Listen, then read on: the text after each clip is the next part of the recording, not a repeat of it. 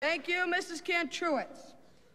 Now, I'm not just gonna stand here and make a lot of promises like Nancy, or let you off the hook like Stephen. By the way, thanks, Stephen. I'm just gonna explain why I'm the best choice.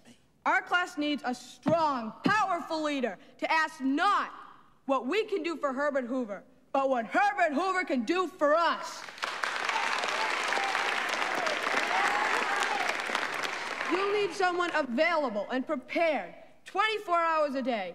Not someone who's taking time out for a cigarette in the bathroom or someone who you can't even understand when he talks. You'll need someone who's there looking after your best interests. Fascist We need- smearmonger!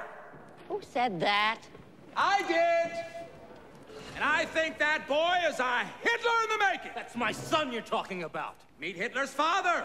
Who the hell is this nut, and what is he doing in this school? Gentlemen, please, this assembly is for the students, and it is their participation that we are seeking in this democratic. process. How democratic can process. you let some snot-nosed, spoiled brat like that get up there and soil the minds of these children with slanderous and humiliating insinuations?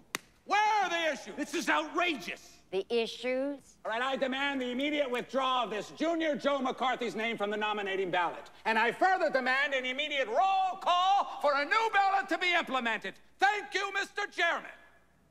Mom! Yes, baby. Hey, Mom. What, sweet? Mom, mm. did you know that Idaho means Jew hater in Cherokee?